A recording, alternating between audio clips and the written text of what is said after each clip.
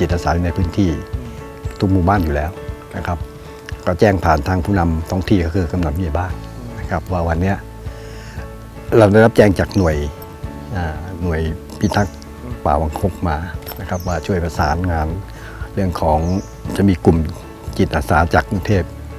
นะครับเข้ามาร่วมทำแนวป้องกันไฟป่านะครับก็ช่วยประสานให้จิตอาสาในพื้นที่เข้ามาร่วมกิจกรรมครับพอบอกไปเรื่องของจิตอาสาเนี่ยก็จะมีคนเข้ามาร่วม สำคัญอย่างยิ่งเลยจิตอาสานะครับทุกสิ่งทุกอย่างต้องมาเริ่มจากจิตใจ พอเรามีจิตใจที่จะรับใจคือเสียสละส่วนรวมส่วนตัวออกมาเนี่ย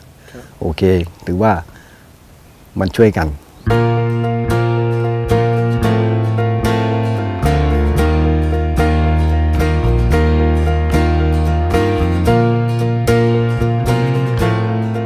ทางทีมผมก็คือถางใบไม้ให้มันเป็นทางอะครับ เพื่อให้มันเป็นแนวไฟ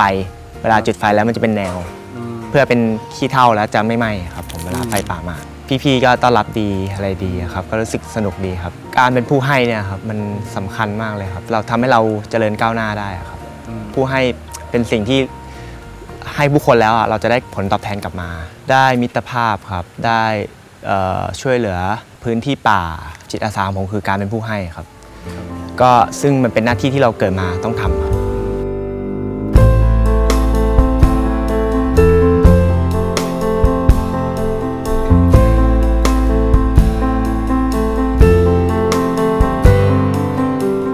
จริงๆ อยากให้ลูกมาทำอะค่ะ วันนี้พาลูกมาด้วยคนหนึ่งสิบขวบ ก็อยากให้เขาเจอเอิ่มไม่ไม่ใช่กลุ่มเพื่อน ไม่ใช่กลุ่มเพื่อนพ่อแม่อะไรเงี้ยนะคะ ให้เขาเห็นคนหลากหลายว่าแบบเออในสังคมยังมีคนที่ไม่เหมือนเขาอีกตั้งเยอะ แล้วก็อันที่สองก็คือ อยากให้เขาทำอะไรที่ไม่ได้ได้ผลตอบแทนอะที่เป็นเงินเป็นของเล่นเป็นอะไรเงี้ย เขาจะเห็นผลของที่เขาทำว่าเอออันเนี้ยมันได้ช่วยช่วยอะไรบ้างอย่างวันนี้ที่ทำก็คือช่วยเอ่อรักษาช่วยปกป้องป่า เขาก็เป็นหนึ่งแรงในนั้นที่ได้ช่วยทำเขาก็จะรู้สึกภูมิใจว่าตัวเขาอะเป็นหนึ่งแรงที่ได้รักษา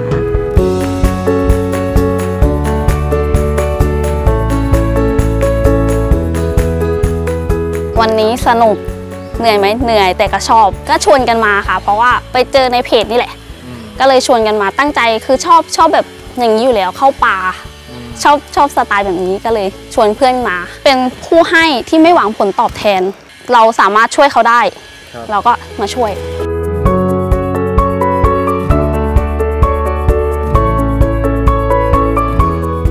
ก็ฝุ่นเยอะ ใช่ค่ะ ก็ขึ้นเขาก็กลัวว่าจะแบบกิ้งตกลงมาเหมือนกัน แต่ก็แบบสนุกดี รู้สึกว่าแบบคนเยอะมีชาวบ้านด้วยทหารด้วยทำเพราะว่าอยากทำสิ่งที่ได้ก็คือน่าจะแบบเป็นความชอบความสุขละมั้งค่ะ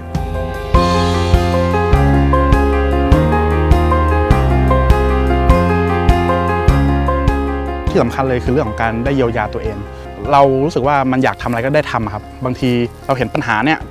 หลายคนเลือกที่จะรู้สึกว่ามันมีปัญหาอยู่แต่แบบไม่ได้ลงมือแก้ไข การที่เรามาทำกลุ่มจิตอาสาเนี่ยก็เป็นโอกาสหนึ่งที่ทำให้มีการเปิดพื้นที่ขึ้นทำให้คนที่แบบอยากแก้ปัญหา รู้ว่ามันมีอะไรบ้างที่เขาสามารถลงมาทำกิจกรรมได้ ก็กลายเป็นพื้นที่ที่ทำให้เขาเนี่ยได้เรียนรู้แล้วก็ได้ที่จะส่งต่อครับ สิ่งหนึ่งที่เรามีความสุขมากๆกับการทำจิตอาสา คือการที่เราได้เห็นมีการส่งต่อเกิดขึ้น มันดูเป็นการส่งต่อเมล็ดพันธุ์ แห่งความดีที่แบบ ชื่อว่าทุกคนอาจจะมีเมล็ดพันธุ์นี่ยอยู่ในใจอยู่แล้ว แต่แค่ว่าทำไงให้มันเกิดการส่งต่อ แล้วมันเกิดการเติบโตขึ้นอะไรเลยครับ การที่มาทำกิจกรรมกับเราเนี่ยก็ถือว่าเป็นการที่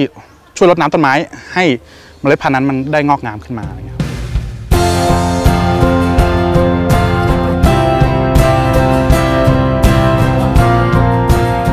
ในชุมชนเนี่ยมีความยินดีที่ว่ามีผู้เข้ามาร่วมทำป้องกันแนวป่า แนวไฟป่าเนี่ยนะเพราะว่าผมทำอยู่ทุกปี ก็รู้สึกยินดีมากเลยที่ว่าคนข้างนอกให้ความร่วมมือกับหมู่บ้านและชุมชนในท้องที่นี้ ก็ขอขอบคุณที่ให้ความร่วมมือกับชุมชน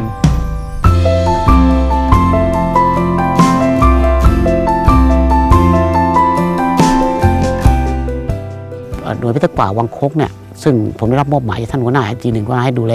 ทำแนวป้องกันไฟป่าคือเป็นหน้าที่หลักของผมอยู่แล้ว ที่ต้องทำ นะครับแต่วันนี้ได้มีจิตอาสาเข้ามาก็โอ้ดีใจครับชื่นชมในน้ำใจเขาที่อย่างน้อยๆเรายังมีคนไทยแต่หลายส่วนหลายกลุ่มยังให้ความสำคัญ อยากจะให้ความร่วมมือกับเจ้าที่อยากจะอนุรักษ์พื้นป่านะฮะในประเทศไทยอยู่ ไม่ว่าจะทำที่ไหนทำที่นี่หรือทำที่อื่นก็มีประโยชน์นะฮะได้ประโยชน์ได้คุณค่าได้กุศล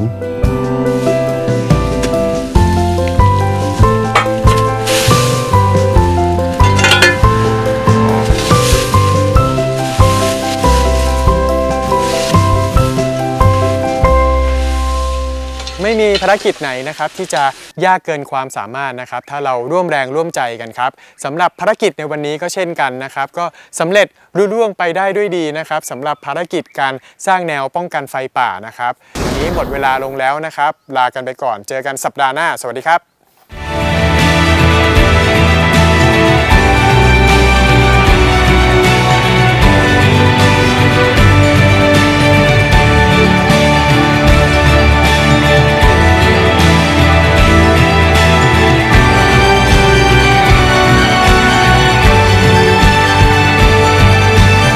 ขอบคุณทุกท่านนะครับที่คลิกเข้ามาชมทาง YouTube ทีวีบุรพา Official นะครับก็ยังไงก็อย่าลืมติดตามกันนะครับ กด subscribe นะครับและกดกระดิ่งครับจะได้ไม่พลาดรายการดีๆ จากทางทีวีบุรพาครับ